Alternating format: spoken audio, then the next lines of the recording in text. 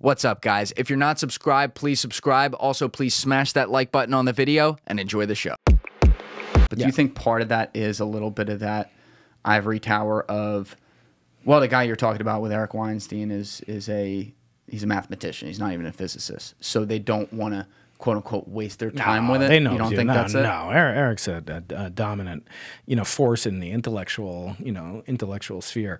No, I don't think that's that's true at all. He do, he will. I'll get frustrated with him because he'll often say, "Oh, I'm just a mathematician," but in reality, I mean, he's claiming to impinge upon the traditional pathways of modern physics, including that of you know uh, of maybe pre-discovering certain even foundational equations that have led to you know the so-called string revolution and other things while he was a graduate student.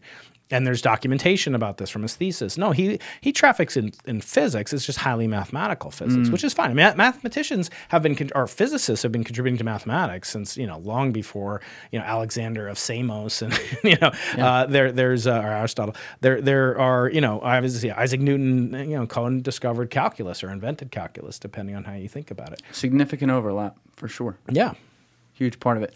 But if if you had to explain to like the layman out there to get at the core of what we've been coming around to with like the the Kaku camp and like the Weinstein camp, like what is string theory in your estimation, and what is it that Eric is proposing with geometric unity? I think uh, there's a there's a misguided um, fascination, focus, obsession in some sense with um, with string theory. String theory has gotten a tremendous amount of attention, and this is sociological, perhaps, uh, and and possibly because of the authority bias that's that's always present when you have a field. As um, uh, there, there's no there's no telling how much respect people have for mathematics and physics.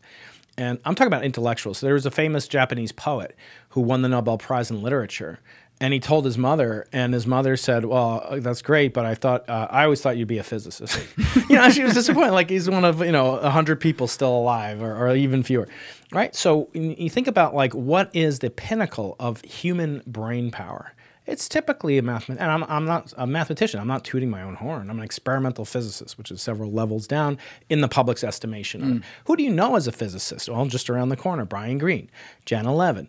Um, as I said, Stephen Wolfram, Stephen Hawking, you know, the names that people know, Lenny Susskind, all these people I've had on. I've had 14 Nobel Prize winners in physics alone on my podcast, plus several others from other disciplines they're almost all theoretical physicists, which is as close to math as you can get in physics.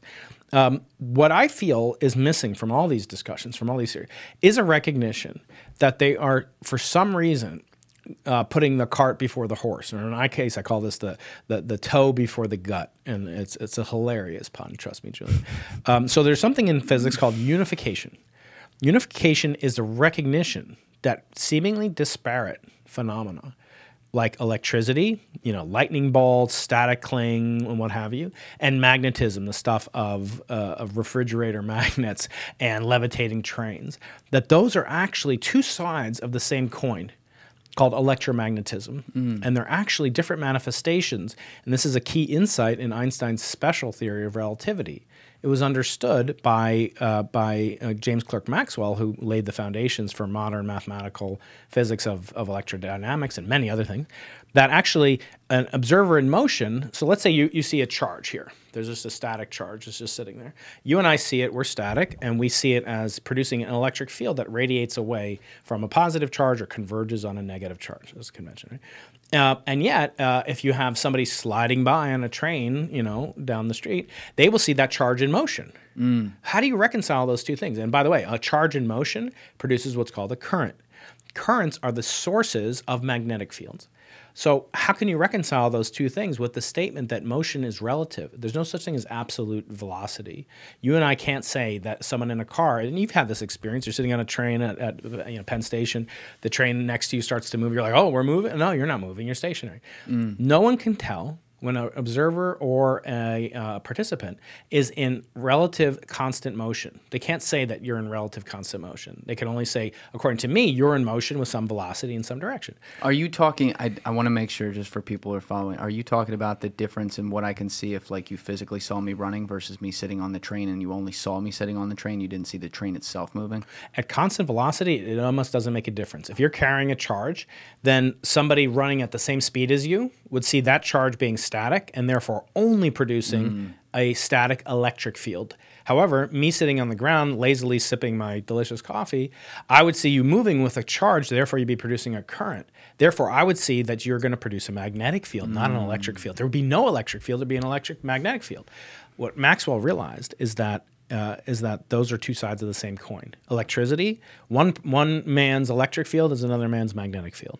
Okay, so what's so important about that is that there was a unification. They're actually one thing. Call it the electromagnetic field. When did he come up with that? 1850s, 1860s. Um, he died very young, like It's been 40 years old. yeah, he's been. Um, and then even he, as brilliant as he was, he thought that these waves traveled through a medium called the ether that was uh, Hmm. rejected 50 or 60 years later. But but essentially, he didn't understand how you could have a wave of light or electromagnetism, which he also discovered. How could you have a wave traveling through a vacuum where there's no medium? There's no such. We, we're talking now. There's sound waves emanating from pressure and density perturbations that get picked up by a little diaphragm Pressure and density, what? va- variations or vibrations. Yeah, Oh, yeah. it. Perturb- oh, perturbations. that's what it said. Yeah, Perturbations. Like, perturbations. what the fuck is that? that's uh, some of the things you can't that sound dirty but are not. Yeah. Okay. Uh, I'm gonna go per- perturbate myself later on. Uh, so when you think about how um, you know how these things are two sides of the same coin, the same thing exists with nuclear physics and particle physics Hmm. and quantum mechanics. Thank you for watching the video, guys. Please hit that subscribe button and check out this clip's full podcast episode by clicking here or in the description below.